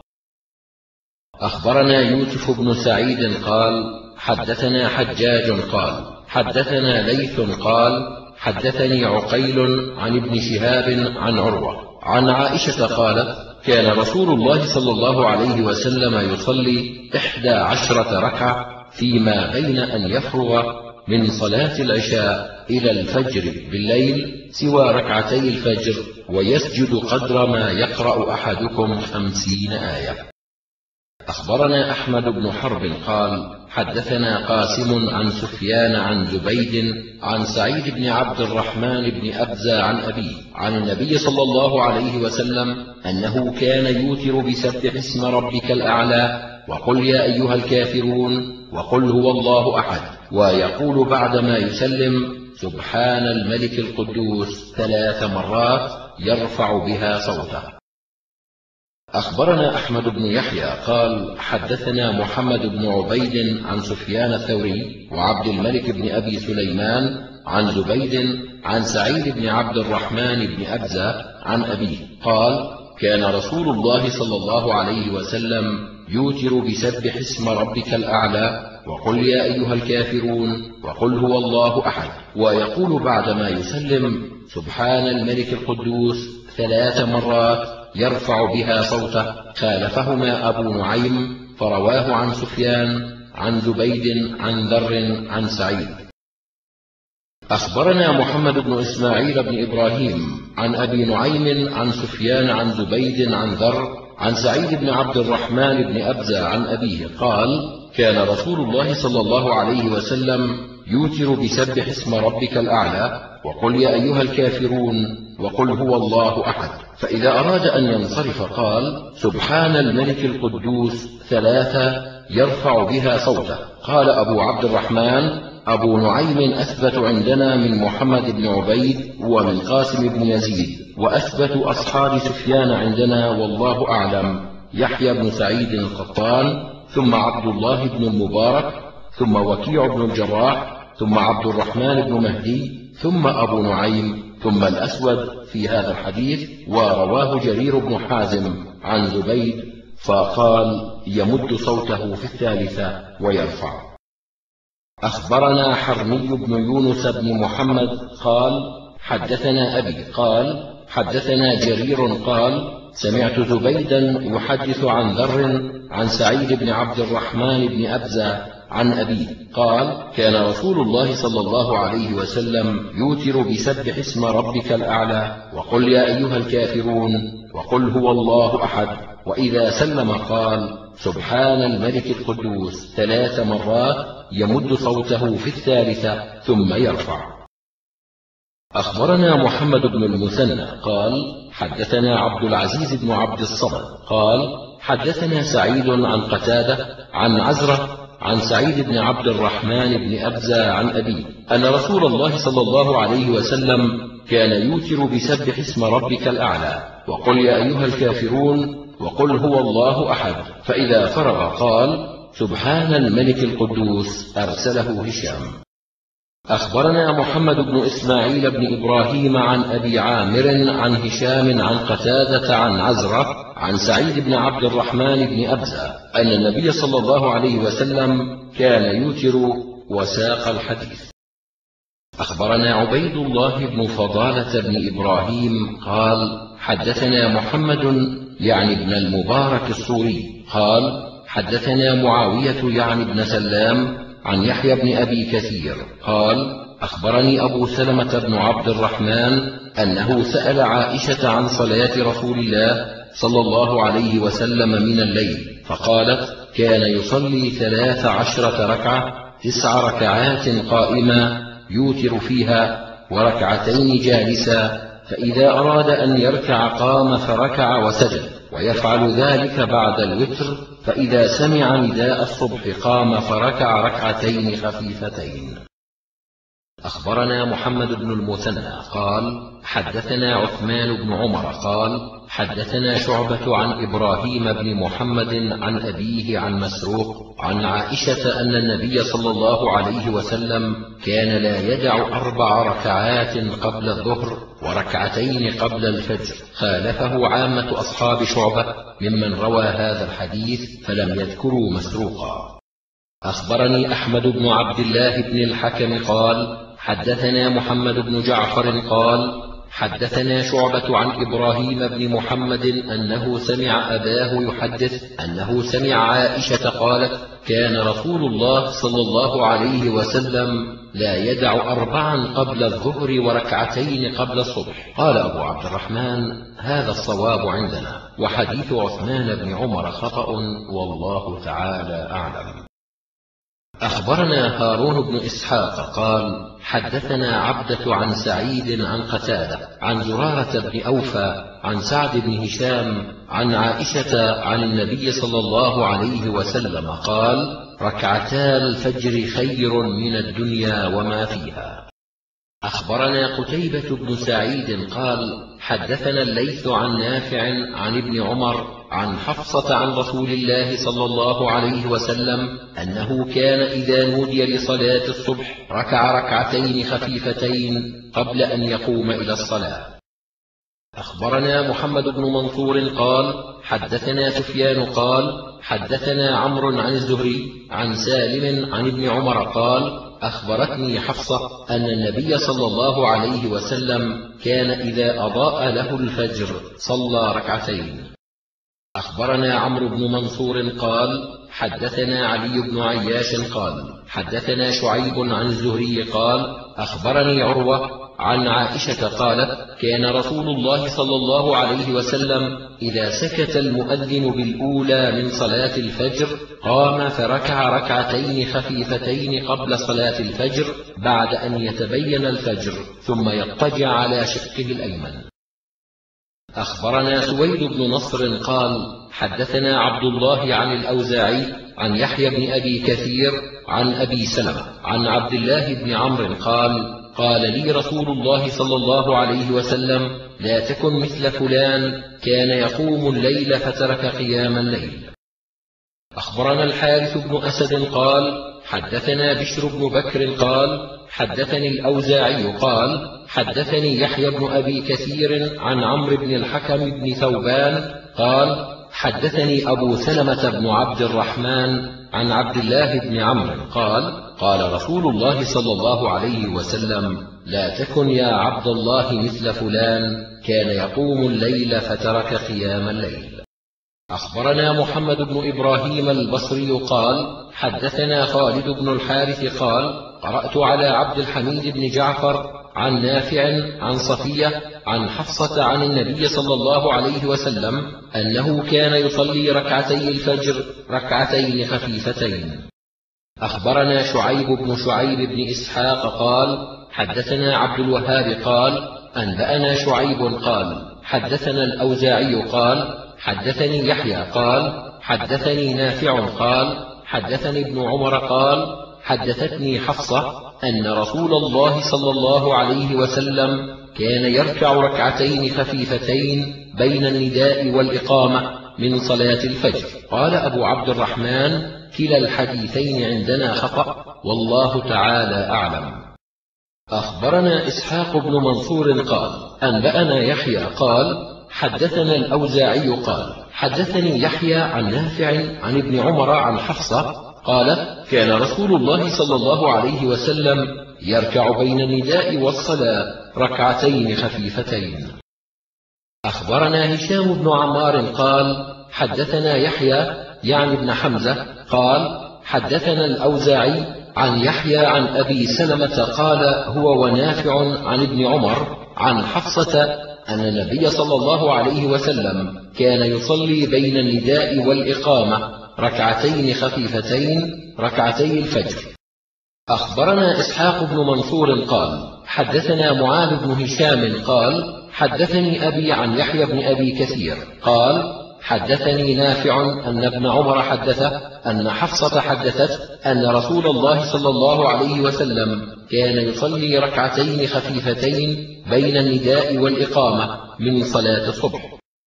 أخبرنا يحيى بن محمد قال حدثنا محمد بن جهضم قال إسماعيل حدثنا عن عمر بن نافع عن أبيه عن ابن عمر قال أخبرتني حفصة أن رسول الله صلى الله عليه وسلم كان يصلي قبل الصبح ركعتين.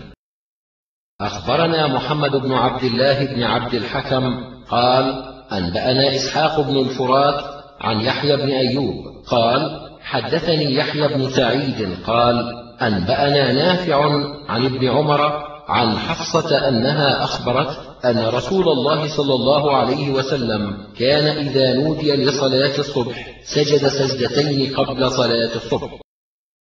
أخبرنا عبد الله بن إسحاق عن أبي عاصم عن ابن جريج قال أخبرني موسى بن عقبة عن نافع عن ابن عمر عن حفصة أم المؤمنين أنها أخبرت أن رسول الله صلى الله عليه وسلم كان إذا سكت المؤذن صلى ركعتين خفيفتين.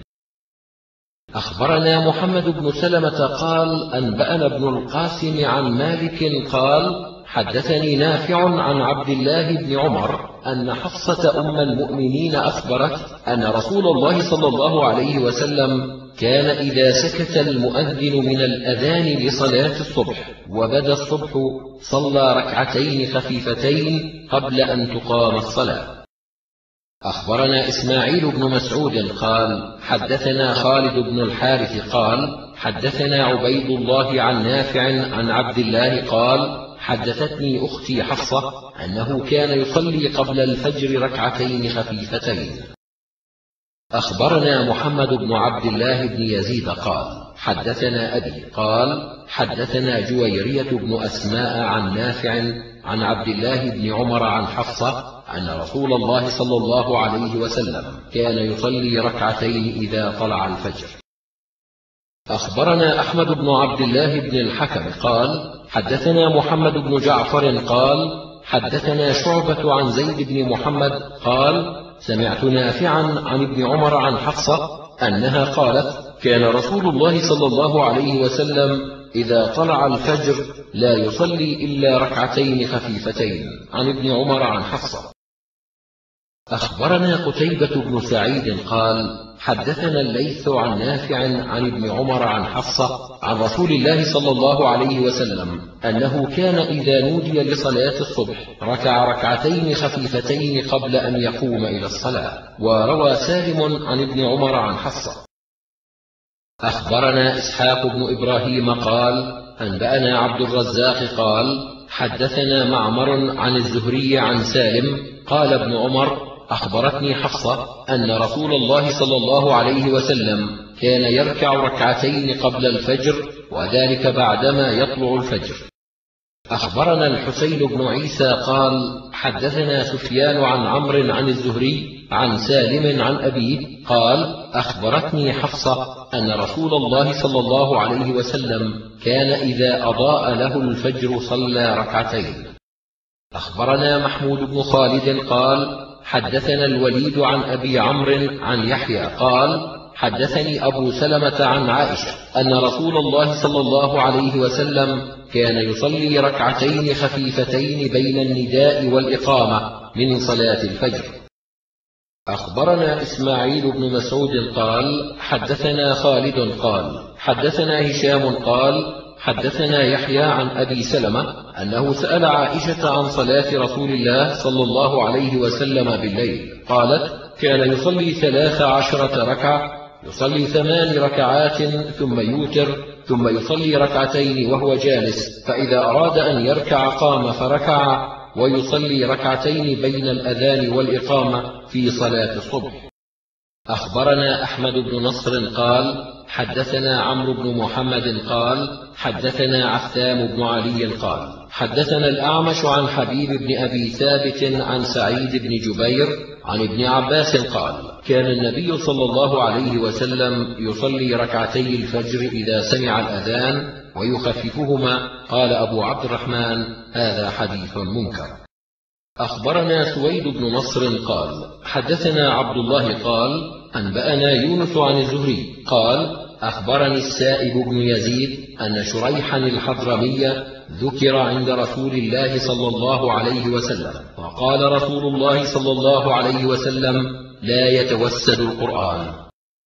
أخبرنا قتيبة بن سعيد عن مالك عن محمد بن المنكدر عن سعيد بن جبير عن رجل عنده رضا أخبره أن عائشة رضي الله عنها أخبرت أن رسول الله صلى الله عليه وسلم قال ما من امرئ تكون له صلاة بليل فغلبه عليها نوم إلا كتب الله له أجر صلاته وكان نومه صدقة عليه.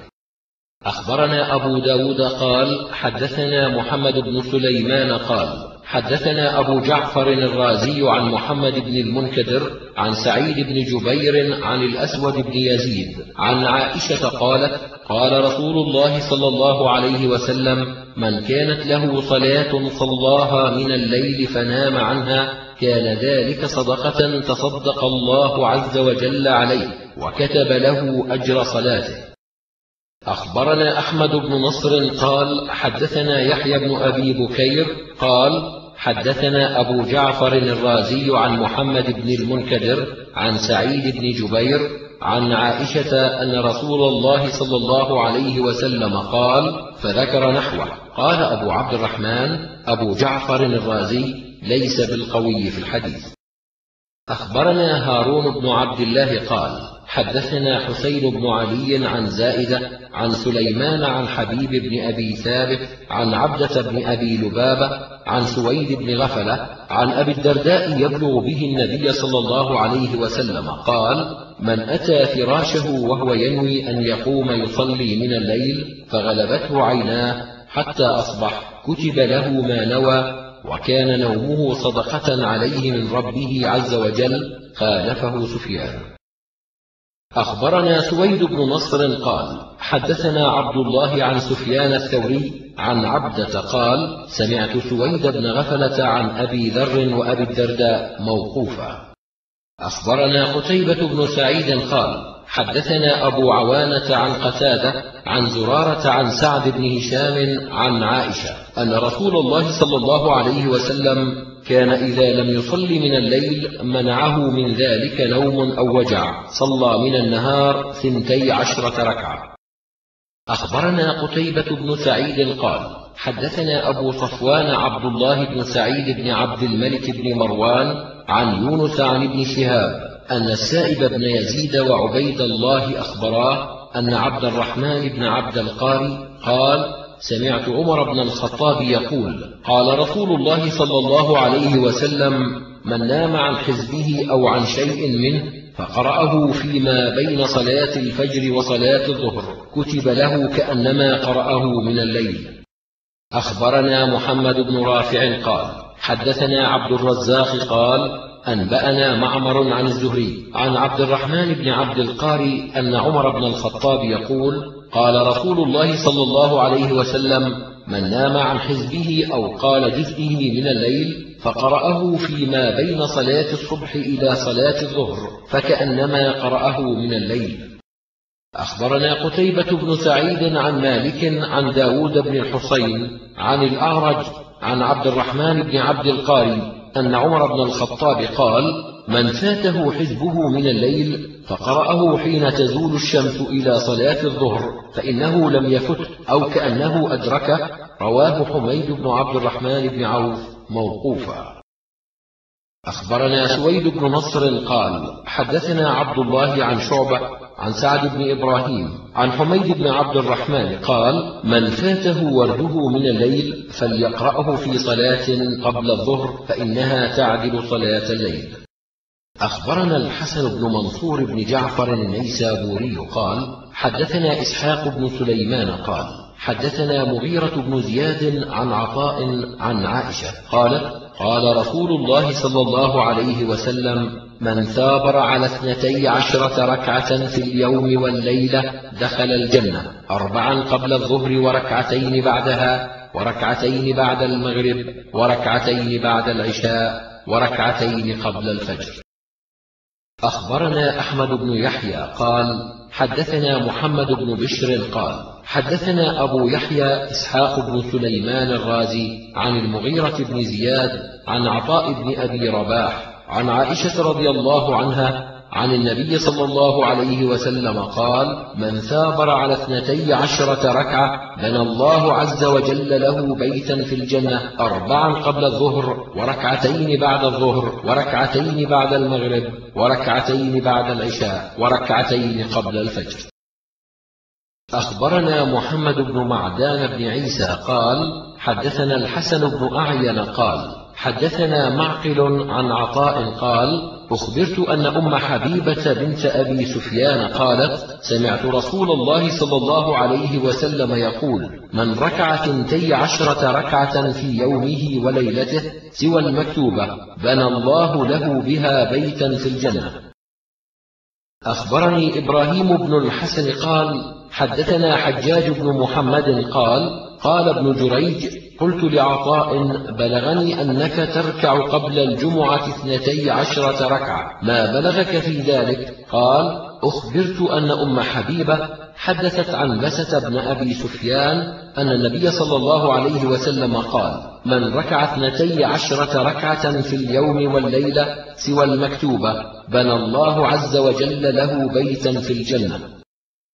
أخبرني أيوب بن محمد قال أنبأنا معمر بن سليمان قال حدثنا زيد بن حبان عن ابن جريج عن عطاء عن عنبسة بن أبي سفيان عن أم حبيبة قالت سمعت رسول الله صلى الله عليه وسلم يقول من صلى في يوم ثنتي عشرة ركعة بنى الله عز وجل له بيتا في الجنة. قال أبو عبد الرحمن عطاء لم يسمعه من عنبسة. أخبرنا محمد بن رافع قال حدثنا زيد بن حباب قال حدثني محمد بن سعيد الطائفي قال حدثنا عطاء بن أبي رباح عن يعلى بن أمية قال قدمت الطائف فدخلت على عنبسة بن أبي سفيان وهو بالموت فرأيت منه جزعا فقلت إنك على خير فقال أخبرتني أختي أم حبيبة أن رسول الله صلى الله عليه وسلم قال من صلى ثنتي عشرة ركعة بالنهار أو بالليل بنى الله عز وجل له بيتا في الجنة خالفهم أبو يونس القشيري.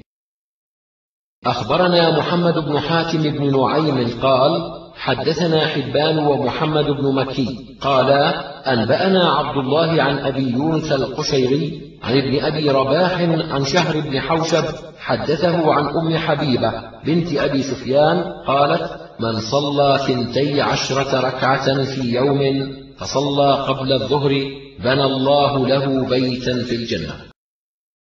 أخبرنا الربيع بن سليمان قال أنبأنا أبو الأسود قال حدثني بكر بن مضر عن ابن عجلان عن أبي إسحاق الهمداني عن عمرو بن أوس عن عنبسة بن أبي سفيان عن أم حبيبة أن رسول الله صلى الله عليه وسلم قال اثنتا عشرة ركعة من صلاهن بنى الله له بيتا في الجنة. أربع ركعات قبل الظهر وركعتين بعد الظهر وركعتين قبل العصر وركعتين بعد المغرب وركعتين قبل صلاة الصبح. أخبرنا أبو الأزهر أحمد بن الأزهر النيسابوري قال حدثنا يونس بن محمد قال حدثنا فليح عن سهيل بن أبي صالح عن أبي إسحاق عن المسيب عن عنبسة بن أبي سفيان عن أم حبيبة قالت قال رسول الله صلى الله عليه وسلم من صلى اثنتي عشرة ركعة بنى الله له بيتا في الجنة أربعا قبل الظهر واثنتين بعدها واثنتين قبل العصر واثنتين بعد المغرب واثنتين قبل الصبح. قال أبو عبد الرحمن فليح بن سليمان ليس بالقوي.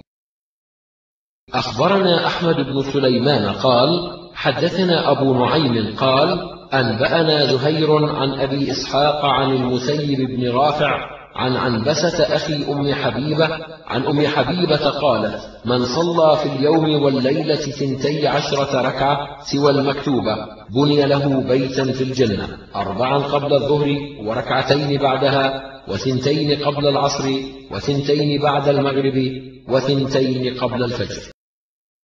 أخبرنا محمد بن إسماعيل بن إبراهيم قال حدثنا يزيد بن هارون قال أنبأنا إسماعيل عن المسيب بن رافع عن عنبسة بن أبي سفيان عن أم حبيبة عن النبي صلى الله عليه وسلم قال من صلى في اليوم والليلة ثنتي عشرة ركعة بني له بيت في الجنة.